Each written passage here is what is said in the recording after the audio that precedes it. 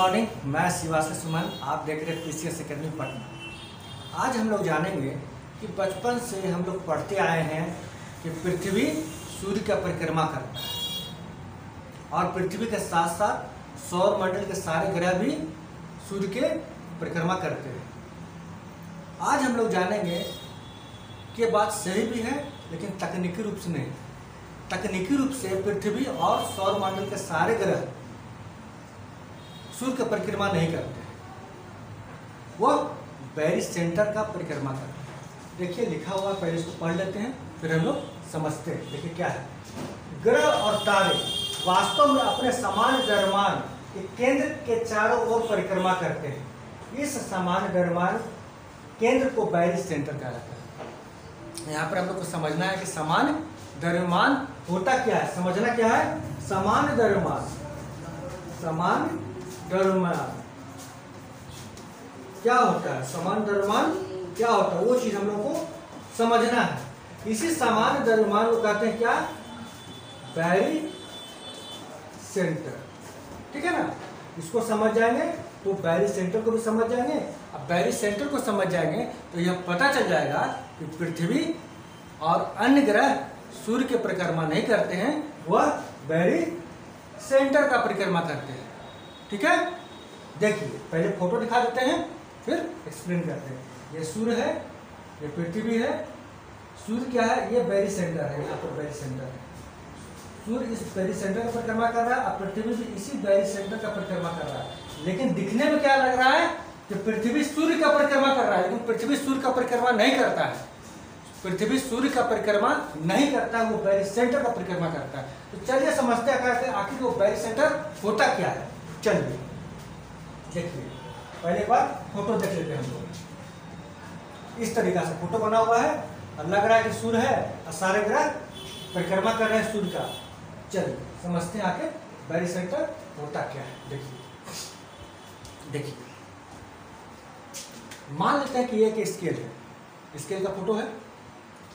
इसका centre of gravity कहाँ बनेगा? सेंटर ऑफ़ ग्रेविटी कहने का मतलब ऐसा स्थान जहाँ पर दोनों तरफ़ का भार संतुलित हो जाए और अगर उंगली लगाए तो वह दोनों तरफ़ बराबर बराबर हो जाए। स्केल है, यहाँ से लेकर यहाँ तक, सबका भार बराबर है। इसका सेंटर ऑफ़ ग्रेविटी क्या होगा? एकदम बीच में बनेगा। यानी कि यहाँ पर उंगली लगाएँगे तो स्केल खड़ा हो जाएगा। ठीक है ना? स्केल खड़ा हो जाएगा बीच में। ठीक है ना? दोनों तरफ़ बैलेंस हो जाएगा। लेकिन क्या बीच में अगर हथौड़ा है ये, हथौड़ा के हथौड़ा के बीच में उंगली लगाएँगे तो क्या सेंटर ऑफ़ ग्रेविटी प्राप्त होगा? नहीं होगा। क्यों? एक तरफ़ झुक जाएगा, क्योंकि इधर लोहा लगा हुआ है, भार है। तब क्या करेंगे? अगर उंगली पर हमको उसको बैलेंस करना है तो उंगली को और घसकाएँगे। फिर देखेंगे इधर और झुका, फिर घसकाएँगे, फिर भी झुकेगा। लास्ट में जाके, एकदम जाके लोहा जहाँ पर, वहाँ पर जाके उंगली लगाएँगे, तब हो सकता है कि हथौड़ा बैलेंस हो जाए। यानी कि इधर का भार, इधर का भार बराबर हो गया। देखिए, यहाँ पर जाकर बैरी सेंटर, यानी कि सेंटर ऑफ़ ग्रेविटी बन रहा है। ठीक है ना? तो जहाँ पर सेंटर ऑफ़ ग्रेविटी बनता है ना, जहाँ पर दोनों तरफ़ बैलेंस हो जाए, उसी को कहते हैं बैरी सेंटर। है ना? उसको कहते हैं सेंटर ऑफ़ मास भी कहते हैं। यानी कि सामान्य द्रव्यमान का केंद्र, सामान्य द्रव्यमान का केंद्र। यानी इधर का द्रव्यमान, इधर का द्रव्यमान दोनों बराबर हो गया। एक ऐसा पॉइंट पर वो सामान्य द्रव्यमान का केंद्र हो गया। यहाँ पर सामान्य द्रव्यमान यहाँ पर बन रहा था, हथौड़ा में एकदम सीधे देखिए फिगर में यहाँ पर बन रहा है। और अब इसी दोनों को समझ गए हैं, तब हम लोग समझते हैं कि मान लीजिए एक स्केल है, एक स्केल है, इस स्केल को हम लोग यहाँ पर लगा दिए। एक तरफ़ सूरज को रख दिए और एक तरफ़ पृथ्वी को रख दिए। भार किधर ज़्यादा है? भार इधर ज़्यादा है। क्या अगर हम बीच में उंगली लगाएँगे तो बराबर हो पाएगा? नहीं हो पाएगा। तो क्या करेंगे? अपना उंगली को घसकाएँगे फिर भी बराबर नहीं होगा। तब जाके अपना उंगली घसकाते घसकाते एकदम यहाँ पर लाएँगे, तब जाके सेंटर ऑफ़ मास बराबर होगा, यानी कि समान द्रव्यमान प्राप्त होगा, है ना? समान द्रव्यमान प्राप्त होगा सेंटर ऑफ़ ग्रेविटी बराबर होगा यहाँ पर, इस पॉइंट पर। तो इस पॉइंट को ही कहते हैं क्या?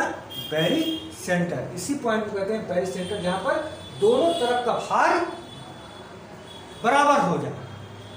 दोनों तरफ़ का भार बराबर हो जाए। तो उसको कहते हैं बैरी सेंटर यहाँ पे देखिए लिख दिया बैरी सेंटर इसको कहते हैं बैरी सेंटर है ना? अब इस पॉइंट यहाँ पर जो बैरी सेंटर बना है, इसी पॉइंट के चारों ओर सूर्य भी चक्कर लगाएगा और इसी पॉइंट के चारों ओर पृथ्वी भी चक्कर लगाएगा, है ना? तो सूर्य के बगल में, चूँकि बेरी सेंटर तो पता नहीं चल पाएगा चक्कर लगाएगा तो थोड़ा थोड़ा थोड़ा थोड़ा दिखाई देगा, है ना? इसी से थोड़ा थोड़ा दिखाई देगा तो पता नहीं चल पा, पाता लेकिन बेरी सेंटर से चूँकि पृथ्वी दूर है और ये इसका जब चक्कर लगाता है तो वो स्पष्ट रूप से दिखाई देता है।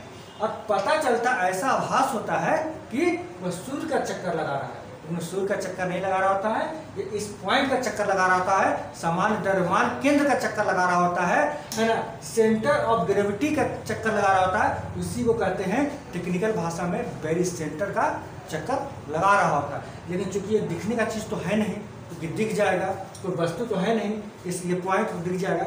लेकिन दोनों का द्रव्यमान का केंद्र यहाँ पर बन रहा है, उसी का वो चक्कर लगा रहा है। अब आपको अच्छा से समझ में आ जाएगा, इस फिगर को देखेंगे तो। ये देखिए, ये पॉइंट बना जो ग्रीन वाला पॉइंट है ग्रीन वाला पॉइंट है, ये बना वेरी सेंटर मतलब कि पृथ्वी का और सूर्य का केंद्र द्रव्यमान केंद्र यहाँ पे बन रहा है। तो अब सूर्य इसके चारों ओर चक्कर लगा रहा है, और पृथ्वी भी इसके चारों ओर चक्कर लगा रहा है। तो आज के बाद यदि कोई आपसे पूछेगा कि क्या पृथ्वी सूर्य का चक्कर लगाता है तो आप कह सकते हैं हाँ दिखता तो है, लेकिन तकनीकी रूप से नहीं। पृथ्वी पेरिस सेंटर का चक्कर लगाता है। पृथ्वी पृथ्वी और सूर्य के ग्रेविटी सेंटर का बेरी सेंटर का चक्कर लगाता है है ना? ठीक है, आज के लिए बस इतना ही। हम लोग फिर मिलेंगे एक नए वीडियो के साथ। तब तक के लिए नमस्कार।